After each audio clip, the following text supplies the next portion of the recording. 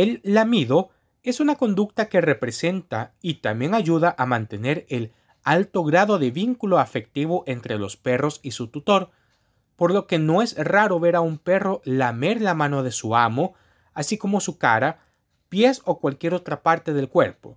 Sin embargo, en ocasiones esta conducta se vuelve incluso obsesiva, haciendo que sus tutores se pregunten por qué mi perro me lame las manos. El origen de la conducta del lamido es innato y deriva en cierto modo de la conducta de los lobos, que si bien no son sus ancestros directos, sí que tuvieron un antepasado en común.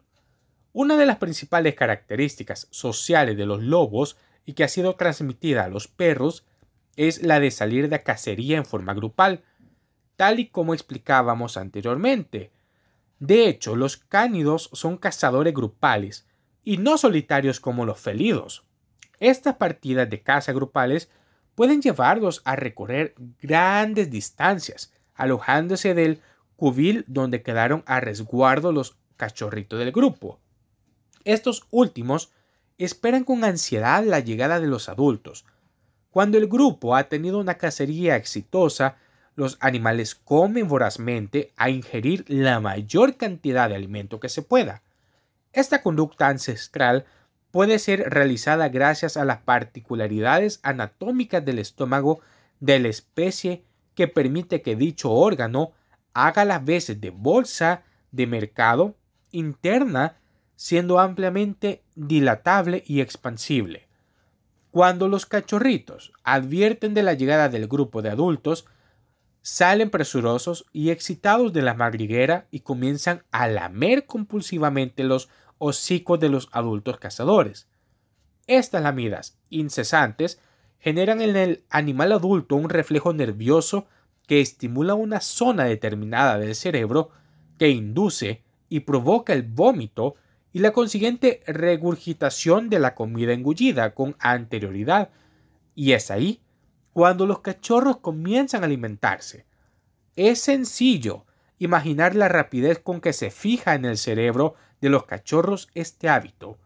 Finalmente, esta conducta del lamido cuando los animales dejan de ser cachorros se mantiene como forma de respeto y sumisión hacia los miembros de la más alta jerarquía del grupo. Este es el real origen del beso de perros, una conducta de demostración de sumisión, respeto y afecto. Conocer el origen de la conducta del amido de perros no termina de explicar el por qué lo hacen con algunas determinadas personas y con otras no. La respuesta es tan sencilla que se torna algo compleja. Es una mezcla de conducta heredada que el animal guarda en algún lugar recóndito en su cerebro y de conducta aprendida que fue enseñada, muchas veces involuntariamente, por su cuidador humano. Veamos qué significa que un perro te lama las manos. Te quiere.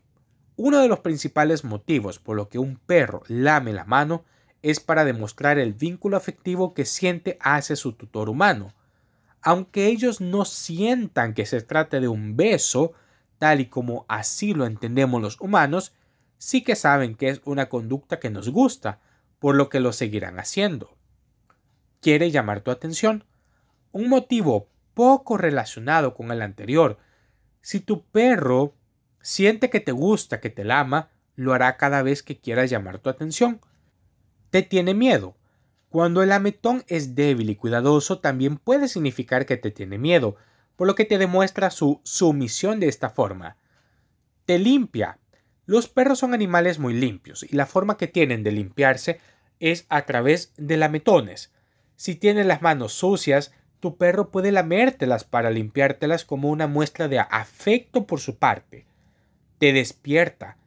Si te has quedado dormido o dormida y tu perro necesita algo como salir a pasear, puede tratar de despertarte suavemente lamiéndote la mano, cara o las orejas. De todos modos, que un perro lama o no las manos de su tutor no es un parámetro a tener en cuenta a la hora de querer evaluar el involucro afectivo de un perro para con su compañero humano. Obviamente, el perro que lame las manos de su cuidador tiene un alto grado de vínculo con el mismo, pero lo más importante es que si no lo hace, no quiere expresar lo contrario. ¿Cómo evitar que mi perro me lama las manos? En este caso, se debe tomar la conducta del animal como algo a corregir, y entonces se debe comenzar con el trabajo de hacer desaprender al perro lo aprendido. No es tarea sencilla, pero tampoco imposible. Se debe comenzar por no recompensar de ningún modo esa conducta. Eso sí, nunca castigándolos, ya que ese tipo de reprimenda no beneficiará nuestro perro ni tampoco entenderá por qué le estamos riñendo. En su lugar es mejor optar por el refuerzo positivo para lograr reconducir su conducta poco a poco. Si pasado un tiempo tu perro sigue lamiéndote las manos, te aconsejamos que acudas a un etólogo especializado en comportamiento canino.